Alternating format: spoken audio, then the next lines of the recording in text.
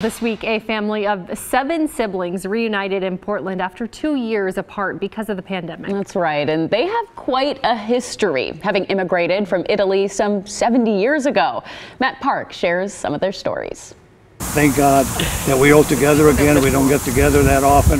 An afternoon of conversation and camaraderie in Vancouver's Jack Fazio Park with the Rebbiati. All were born in Italy. Their lives were changed forever by their dad's question to a family friend who had recently immigrated to the States.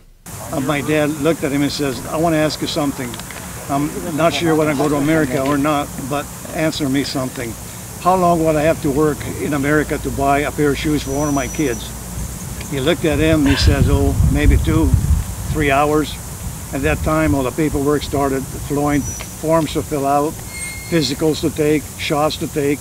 The seven siblings now range in age from 77 to 94, each grateful to be together again after spending two years apart to stay healthy during COVID. When we were split out, California, Oregon, and Washington, but on occasion we are fortunate that we're all here. The seven are no strangers to overcoming challenges. In the 50s, it took 18 months for all the family members to make their way to the U.S., and there were struggles with language and finding their place. And it was a big celebration that day.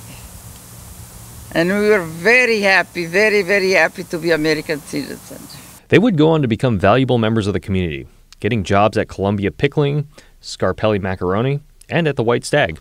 Today, they come together and share a moment of reflection, their love of Portland and love of each other. Her father, at the age of 90, became an American citizen.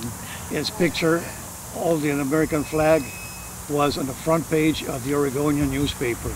We were born halfway around the world and we got together halfway around the world in a beautiful country, America. I'm very happy with my family. They they keep me happy and safe. Matt Park, KGW News.